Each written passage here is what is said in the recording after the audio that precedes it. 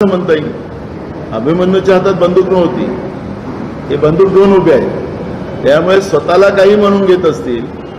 पण ते आता महाराष्ट्रामध्ये मराठा ओबीसीमध्ये वाद निर्माण करणारे राहिले. ते धनगर वर्सेस आदिवासी गोवारी वर्सेस आदिवासी असा वाद निर्माण करणारे हे देवेंद्र फडणवीस गेल्या दहा वर्षामध्ये महाराष्ट्राच्या राजकारणामध्ये सत्तेमध्ये असलेले पाहिले आहे त्याच्यामुळे ते स्वतःला अभिमन्यू म्हणत असतील पण ते अभिमन्यू नाही आहे ते महाराष्ट्रासाठी महाराष्ट्र च चं प्रतिमा मलिन करणारे राहिले.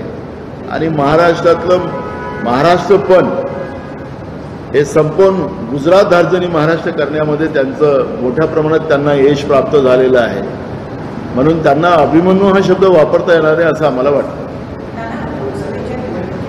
निवडणुकीमध्ये पद्धतीनं मुस्लिम समुदायाचं महाविकास आघाडीला मतदान झालं. त्यानंतर त्यांच्या आशा पल्लवीत झालेल्या आहेत जास्तीत जास्त मुस्लिमांना उमेदवारी हवी आहे काँग्रेसचं काय टार्गेट आहे? काँग्रेस आघाडी किती जणांना उमेदवारी देण्याचा विचार करते काँग्रेसने याला स्पष्ट केलेलं आहे काँग्रेस धर्माच्या आधारावर तिकीट देणार नाही.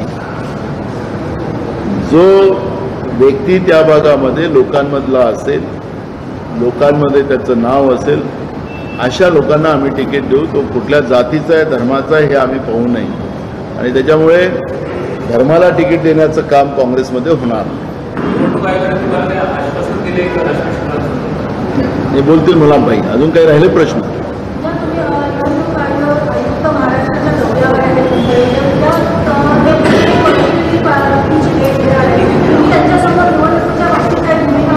मांडली मांडली. सगळी मांडली. ते मान ते सांगतील आता काय बोल. यांना पाठवलं होतं पुन्हा आपण. बोलून घ्या.